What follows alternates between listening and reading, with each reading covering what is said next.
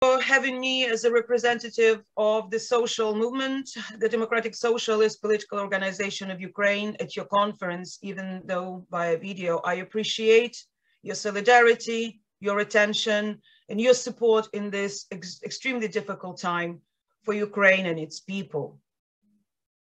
Thank you, delegates. Thank you, conference. Ukraine's independence right now is under threat as a result of full-scale Russian invasion into our country's territory.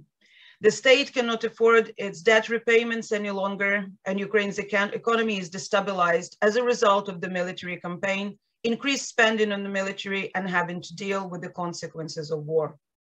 On April the 10th uh, of this year, the World Bank has published its uh, updated report on GDP prognosis, and the projection for the Ukrainian state was that the Russian invasion was going to shrink the economy by 45% in 2020 alone. Of course, the war isn't over, and we understand that this prognosis is still, even though harrowing, is rather optimistic. On March 29th, Ukraine's Prime Minister Denis Shmyhal stated that the country's direct one-time losses due to the invasion already exceeded 1 trillion United States dollars, which by now would be, of course, a much higher figure one month later.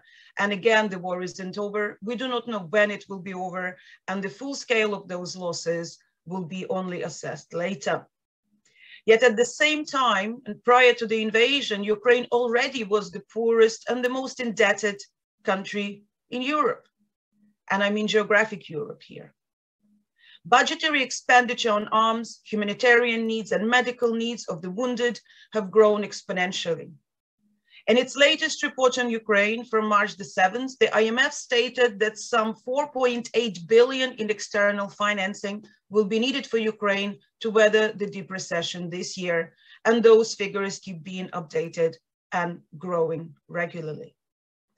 The fund at the same time, in its so-called generous move, is setting up uh, a fund to help countries steer more resources to the nations invaded by Russia, to the nation invaded by Russia, and recognizing that the deep recession uh, and large reconstruction costs are to be expected on the backdrop of a humanitarian crisis.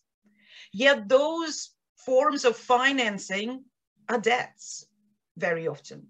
There are some talks about setting up a, a special drawing rights transfer mechanism and uh, bilateral grants uh, in terms of cash to Ukraine.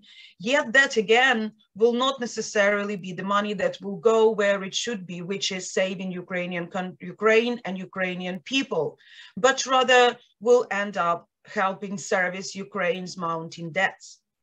In the aftermath of the war, Ukraine will also need money to reconstruct its homes and infrastructure, clean up and decontaminate cities and countryside.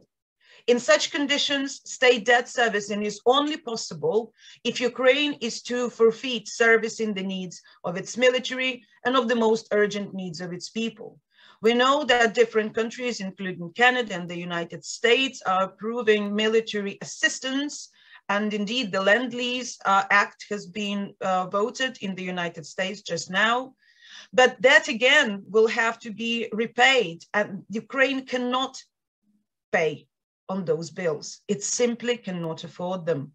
Not only should military and, and, humanitarian needs of the country be a priority and not, the, not its debt servicing current or in the long run. A thorough planning for the post-war reconstruction must be thought of already.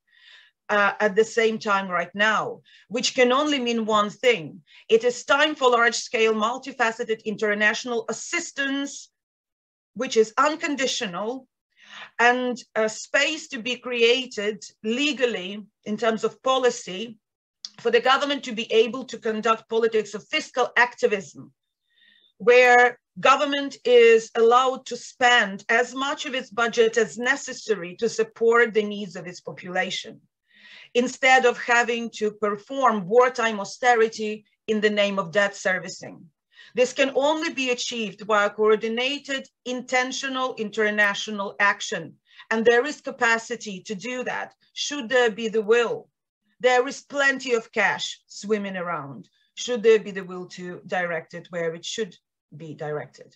Loans and bonds are not the right way to help Ukraine withstand Russian aggression. Yet Ukrainian government has been pushed to start issuing war bonds in order to raise much needed cash to support its economy.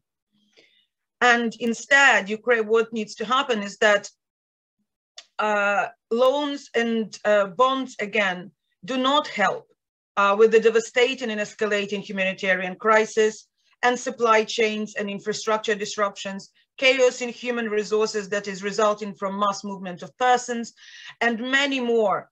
That devastation is simply too vast, and therefore financial aid and military aid is needed, unconditional. Burdening the country at war with more debt is uneconomical and it is immoral. Debt must be cancelled and unconditional large-scale financial and military assistance must be provided. The world must help Ukrainian refugees, help arm Ukrainian military and provide financial assistance on ground basis. It must help Ukraine win this war. I am part of an organization that is fighting for that to happen. We're building a fantastic international coalition of like-minded left-wing left forces, including you.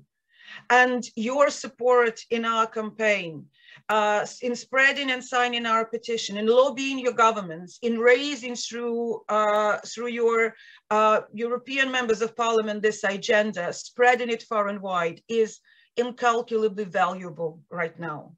Thank you so much for your assistance, for helping us build a better country and seeing beyond the surface of what is happening in Ukraine. Thank you very much and long live solidarity.